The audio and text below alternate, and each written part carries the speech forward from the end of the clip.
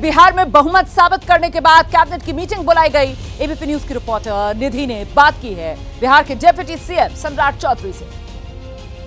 सम्राट चौधरी इस वक्त हमारे साथ मौजूद है। बातचीत करने के सम्राट जी दो मिनट बस रुक जाइए और ये बताइए कि आज जो आज आज जो हुआ अ, इसकी उम्मीद की थी और जो कुछ आरोप लगाए गए हैं उसको लेकर क्या कहेंगे? नीतीश जी ने कहा कि ट्रांसफ़र पोस्टिंग करा देखिए एकदम सरकार में जिस तरह का पैसे का दोहन करने का काम लालू प्रसाद जी के परिवार कर रहे थे। वही तो नीतीश कुमार जी ने साफ़ तौर पर कहा कि आप ऐसा नहीं कर सकते हैं। आपके खिलाफ जो हम गए हैं उसका कारण भी यही है। इसके बाद क्या कहेंगे?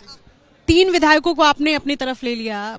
इसकी उम्मीद नहीं थी। 8 पीएम टू 8 एएम के बीच में ये ऑपरेशन हुआ है बीजेपी की तरफ़ नहीं नहीं देखिए कोई 8 पीएम और 8 एएम की बात नहीं है। चेतन आनंद जी के परिवार के लोगों ने लिख के दिया और लोगों ने वहाँ से उनको निकलवाया।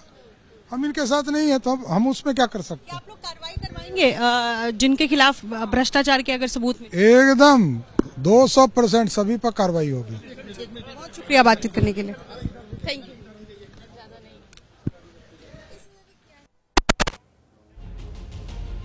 जैसे ही घड़ी का काटा दोपहर ढाई पे आए, बबीता जी का दिल सास बहू साजिश के लिए मचल जाए।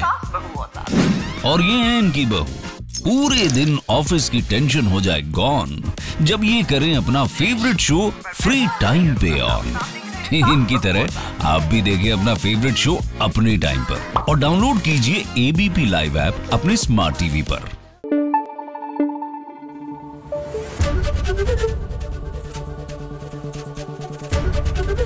ABP news. आपको रखे आगे।